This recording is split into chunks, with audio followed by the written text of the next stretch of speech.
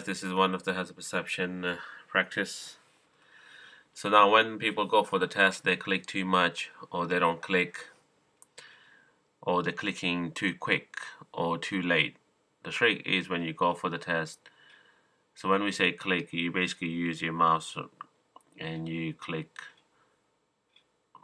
as you see the hazard. So don't click too much. The best idea is click, pause, click. Now let's uh, choose any of the practice here. Let's say i take this. So I'm gonna choose. Uh, let's choose number 10. Now, as we're looking into the clip here, so there's car coming. They're not coming in your lane, so that's not your hazard. So it's basically when you're clicking here, as we can see.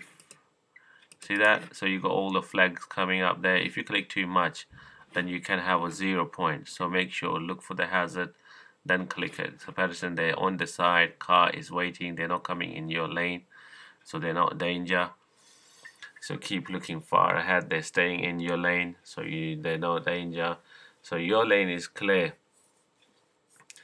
So now as we keep looking far ahead, so you have to come out so car can come out from the front, you can be danger for them. So that's see this car turn up, click, pause, click. See this one here? So that could be your hazard here. So basically you're looking for who is in your way. So you want to make sure you don't put yourself in danger or they're not in danger. So this is the way it works. So don't click too much. So when you click, make sure click, pause, click. Alright, so it's click, it's finished. Alright, here we go. So we got five points. Let's quickly review this where we had the points.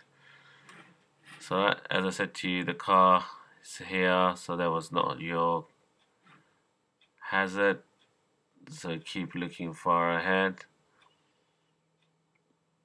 As you can see, number click, we click 5. So it was 4 attempt. So the best attempt was 5. So that's the way basically you're looking for.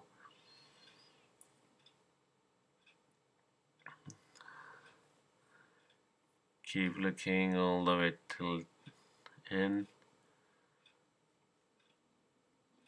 Alright, so we clicked here.